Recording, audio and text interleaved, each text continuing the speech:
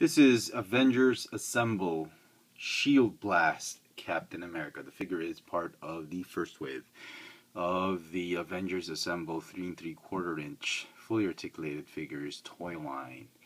It's got a firing shield cannon.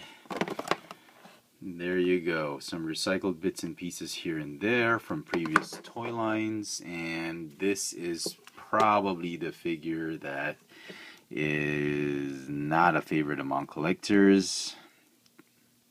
But for Cap fans, it's an amazing figure. All right. Uh, for me, this he's not super bad. It's just that he probably ranks sixth. Uh, and of all the six figures, he he's the, my least favorite, and I'll I'll show you why.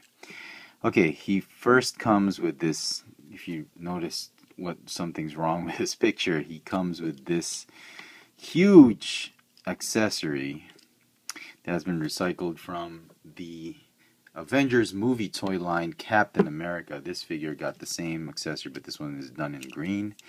And they didn't give him a shield. They gave him a shield. Yes, it's not really a shield. It's a shield that's shaped, it's projectile that's shaped like a shield. As you can see, there is no way for Cap to hold a missile. Or He's got a peg right there, but there's nowhere there. What that thing is for is there's a clip right here for the launcher. You can hold it as I've shown in the beginning, and you can peg the launcher on his back, which is like the most ridiculous thing ever.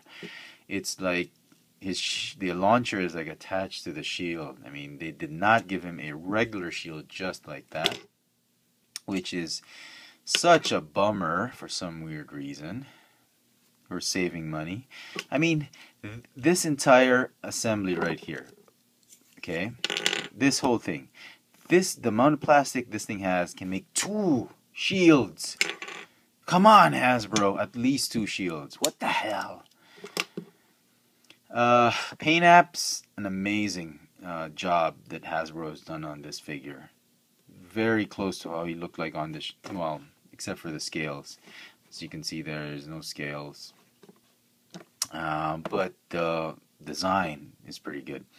The, the way they painted him up, very nice. Hardly any quality issues.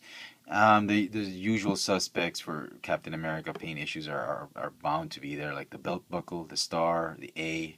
That's really just about it. And most of the paint apps I've seen are, are great. The stripes are good. Belt buckle A is okay. Even the A is centered enough.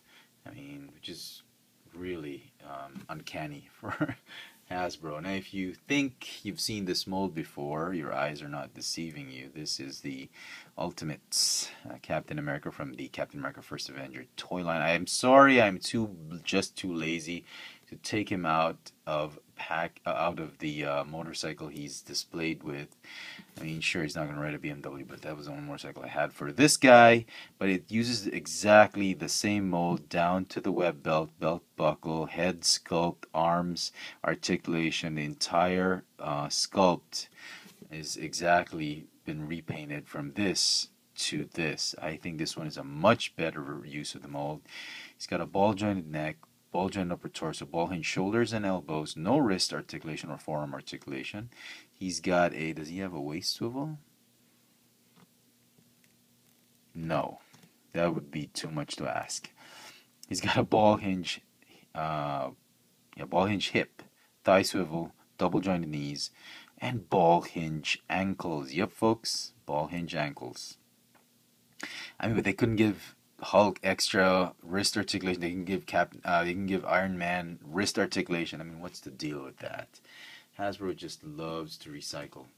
Incidentally, maybe if I, if this guy is just on the motorcycle, maybe Cap can borrow his shield. I mean, this shield would probably look a lot better on Cap than this ridiculous missile launcher but uh, we'll, see. We'll have to we'll have to assess that if that's.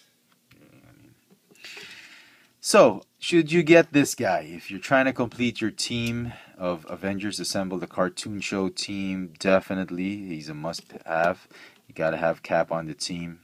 He incidentally he's not the leader of the team. It's Iron Man, and um, if you're a big Cap fan, definitely. I mean, it's a great sculpt. You can always get a shield anywhere from one of your first Avenger, Captain America figures because there's a ton of. Sh- I mean, that that toy line had a ton of shields, so I'm sure you can swap one over the other if you want to give him a shield. So no big deal. But I mean, for first-time collectors of Avengers Assemble, that's a bummer.